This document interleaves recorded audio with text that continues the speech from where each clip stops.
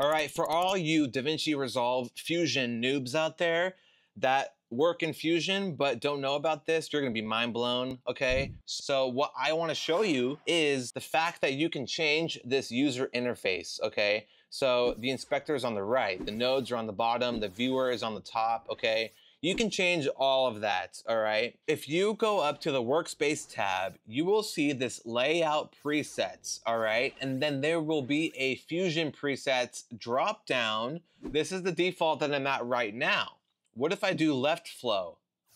Oh my God, what happened? What did it do? It moved like everything to the left, right? Everything that was on the bottom to the left. If you wanted your Fusion interface to look like this, go ahead and do it, right? Why not? And then go down to mid flow.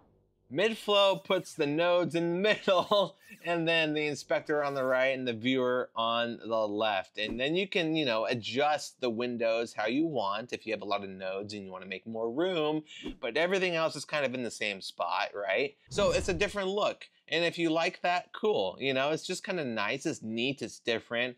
But anyway, I hope that was cool for you and maybe you'll like using it yourself. I just wanted to show you, share with you that it is there and an option for you if you wanted to try it out. And uh, who knows, maybe you'll like it. Maybe it'll help you edit better or something. And this is called the Nuke layout, by the way. That's what it's called. If you have any questions, let me know in the comments. I'll answer to the best of my ability. And without further ado, I will catch you guys next time.